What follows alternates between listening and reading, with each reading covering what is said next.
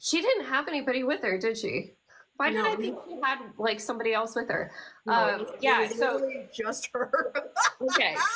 Yeah, now now your anchor makes more sense. like you have a giant shield with a head on it that like turns anyone into stone who gets close to you guys.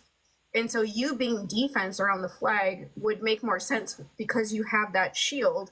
He's not saying it because he just like wants her to not be involved. It's because it Yeah. actually makes sense for her to play that role. But for her, it like makes no sense at all to make him play to make him be in the back by the flag and just be watching everything and have no role like why would you have the most powerful kid at camp besides you Yeah. and, and like take them completely out of out of everything the only reason to do that is because you want to you want to be like the one that everybody you know you want to be the one that wins everything.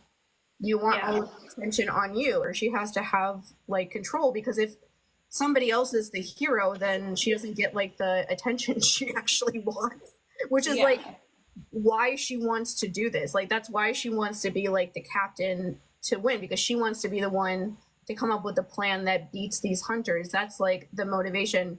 Percy's just doing it because it's camp and this is just what they do and he wants to help like the other campers and stuff like succeed. Um and and and it's not about him. And when the battle starts going on and he can like watch it all from where they are and he can see that it's not going to work and he's like okay this it's not going to work. There's too many of them. There's too many hunters that are near her. She's never going to be able to grab the flag and get all the way back without them you know stopping her either way thalia's plan was not going to work. He didn't Yeah. go to like get the flag because he wanted like notoriety and like to be like seen as like number one again. He just did it because he was like oh we're gonna lose. And so i'm gonna try to grab this because i have like an opening. Nobody is over here because they're all trying to get her. And it Mhm. almost worked. Like he almost got there when the hunters attack to try to get the flag. They like shoot arrows at like little baby nico and the Stoll brothers where they have them like sticking out of their helmets and stuff and they're like knocked out on the ground. But he mm-hmm. feels bad about doing that and so he just pushes her over. And even Yeah. feels bad about doing that and is like Yeah.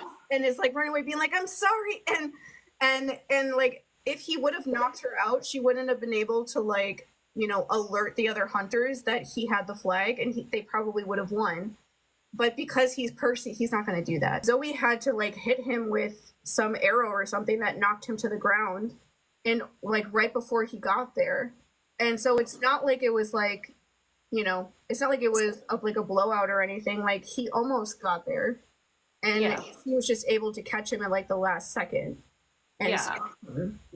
And so the after effects of this whole thing is ridiculous when you look at like what actually happened here.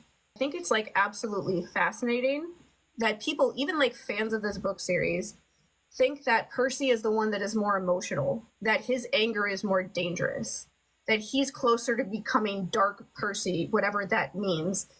But Thalia electrocutes him twice on purpose because they lost a game and she knows that she's hurting him badly when she does it. And she's her anger is so out of control because he didn't follow her plan. That is literally the only reason why she is angry is because she he didn't follow her plan. That's it. It's not even about losing. It's because she he didn't follow like if they would have lost and he would have just stayed in the spot he was in and, and like been knocked out with the rest of them she probably would have been fine with him. She only cares that he didn't she didn't do what he like he didn't do what she said he should do. And so mm-hmm. the idea that she is that angry at him that she's so out of control with her anger that she accidentally electrocutes him. Yeah. It's like you're a child of Zeus and you got so angry about this little thing that you electrocuted somebody and somehow and somehow people think that he's the one that's like on the edge that could possibly like join Luke. And it's like I am quite sure that Thalia would join Luke way sooner than Percy would because she doesn't have like control over her emotions and she's still thinking too much about what she can get out of things. I think it's worth saying that their plan, a combo of their plan would have been what was best. Um, like a combo of flexibility within, like, let's station people in these different places. But Percy should have been picking where people were stationed, number one. And number two, if you have a team going after the flag, then it's a lot easier for one of them to be like, hey, I'm gonna go run ahead. Can you stay back and like defend me? Um, you know, it would have worked out so much better had they joined forces. And that's like something I found with my brother is like the family bullshit is a lot easier to handle when we're on each other's team and like after we have a family interaction we can look at each other and just do like a wink wink like what the fuck are they on right now? Because she was so angry that he changed her plan it didn't even it just didn't even occur to her in that moment to like be like like give it to me yeah. Because she was just so mad that he changed what he was doing that she could not she the thing with like the golden child stuff is that you're like supposed to be on the same team but you're not. Like Mhm. he's supposed to be like your teammate but she looked at him as like an adversary. Yeah. So that stops you au- automatically from a lot of things becoming everything would have been easier not even with this one thing but just overall it would have been so much easier for both of them if this didn't if this sort of weird thing was going on. And it's not from and this weird thing is happening and it's 100% from Thalia. Like Mhm. Percy isn't doing anything. Like yeah he gets angry and throws water on her but i'm like can we compare? Like thalia tries electrocutes him like three times yeah. and is only stopped by the oracle. Otherwise she like it would have kept going. Um he throws water on her. What is water going to do to her besides get her clothes wet? That's the only thing that happens to her is now she's wet and she has to go change her clothes but she was going to do that anyway.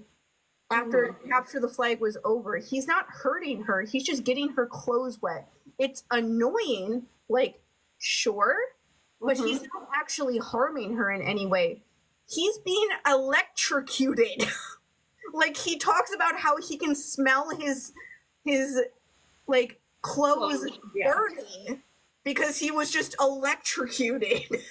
Like this is not like a, a like he could have done more to her. He was just like mad and was just like what is wrong with you? Especially when she calls him his nickname that annabeth calls him call, she calls him seaweed brain. Yeah. and like coming from her is that's a that's a derogatory statement when she says his when she says she's saying it to like put him down and like make him feel bad about himself. And so yeah that's gonna make him do that stuff to be angry at her. And it's like honestly after everything that happened with her so far this is the only time that he's ever like snapped at her at all and Mhm. considering everything that's happened within the last like few chapters that's not that bad. Like yeah. like tearing his head off like five different times and then taking the god side over him and then and then you know getting that angry at him during the fight where you're like mini electrocuting him before it even starts. Throwing some water on her is like not that bad. And like yeah chiron is like oh my god everyone stop fighting. And it's like panicking because the two most powerful kids at camp are are are like screaming at each other when they're supposed to be on the same team.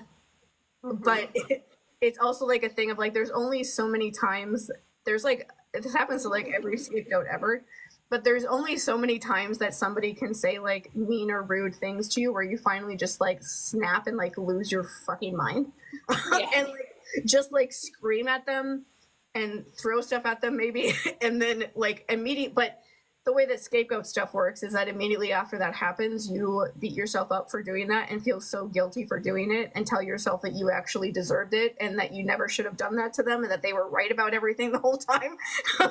That that's and the and then the golden child is sitting there like yep you're right. It was i, I was right the entire time. And Yeah. that's basically how that continues But Which he's already done once in this reading that we just did tonight because he told her I should have stayed with you at the dance, and then she admitted, you know, I probably would have ran after the manticore and the kids too. Sorry. duh. But it's like that whole thing of you're just trying to I guess the thing that happens with this sort of interaction in general is that as a scapegoat you are like wanting to give the person the benefit of the doubt or like you want to think that they're not a bad person because you want to because you because you're aware that you you could get along if you could actually just get over like this weird stuff that's going on between you. And so you don't want to think that they're you know doing this stuff on purpose or being as mean to to you as they actually are. So you like go out of your way to try to make things work because you do actually want to get along with them. Yeah. um, that's part of like why sometimes people in the golden child role pull the stuff that they do because they know that they can. Like this chapter ends after that craziness